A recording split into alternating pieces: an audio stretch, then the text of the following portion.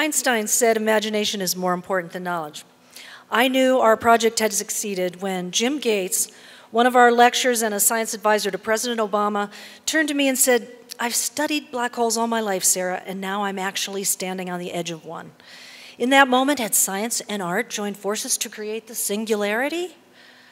The Black Hole Project was part of a large art science collaboration outreach event entitled Celebrating Einstein, which was initiated by Nico Yunes of the MSU Physics Department. On the upper right is the art installation team that created the black hole. I feel a little naked up here without them, actually. Um, from the upper left to the lower right in this, you can see the various designs we explored before settling on our final installation idea. These drawings allowed us to all be on the same page during the 20 month development process as we honed our design from complex to simple, from bulky physical objects to pure light. This is our final architectural rendering. The star field you see represented around the black hole was a laser array designed by Charles Kankelborg of, of MSU Physics Department.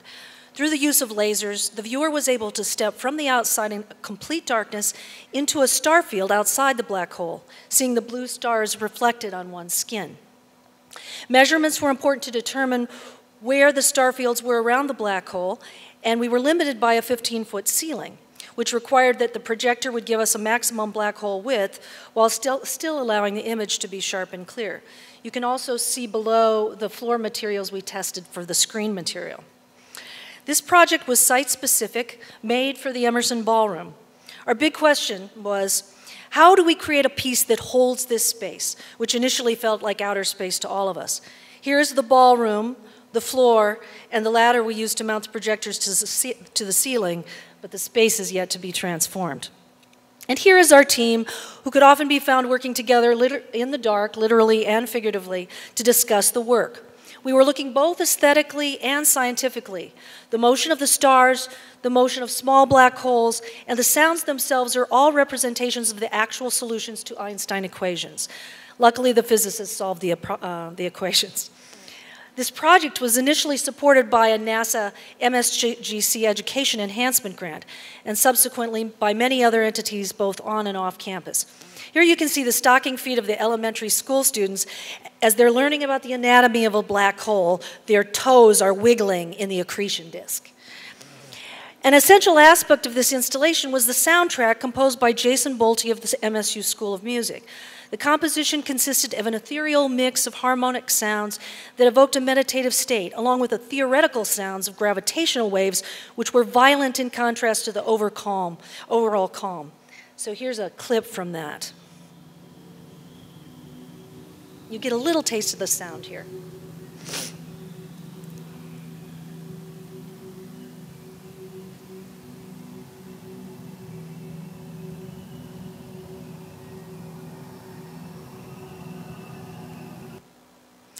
In the summer of 2010, there was an ambitious show at the Museum of Natural History in New York entitled The Brain. In the first few minutes of that show, I was standing inside the brain with neurons firing all around me. I was amazed. I realized that I understood the brain by standing inside it far better than I ever had before. That was the seed experience for this project, along with looking to artists such as Olafur Eliasson, James Turrell, William Kentridge, and Lozano-Hemmer, all of whom work with film, light, sound, technology, and immersive experience. Working as a collaborative team, we definitely had our battles as well as our moments when we fell out laughing on the floor, but ultimately we're able to bring all our talents and passions to the final work. This is a still from Transmutations, the title Cindy Stillwell and I gave to her film, which ran in a continuous loop on the back wall of the ballroom at a scale of 15 by 22 feet. The equations came from a set of Nico's lecture notes on black holes, and I translated them into various drawing painting media in my paintings. Cindy photographed each and every painting stage. Then later, Cindy took the raw footage of my painting process and with morphing software emphasized our metaphor of science finding the answer in equation, then that equation dissolving back into a field of stars, back and forth like chalk dust on Einstein's chalkboard. Here is a small snippet of that film. Today, science is on the verge of a new breakthrough due to the first detection of gravitational waves. These waves are vibrations in gravity itself, produced during violent events such as when black holes collide. They are the soundtrack to the universe. and their detection will represent a transition not unlike that of mute pictures to motion to modern cinema.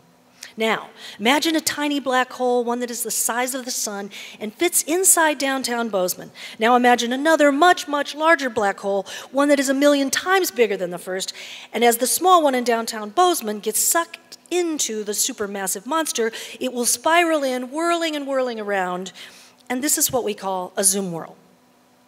Nico worked closely with Chris using solutions to the Einstein equations to visually map the zoom whirl orbits for our animation, just as the gravitational wave sounds were converted into hearing range for the soundtrack.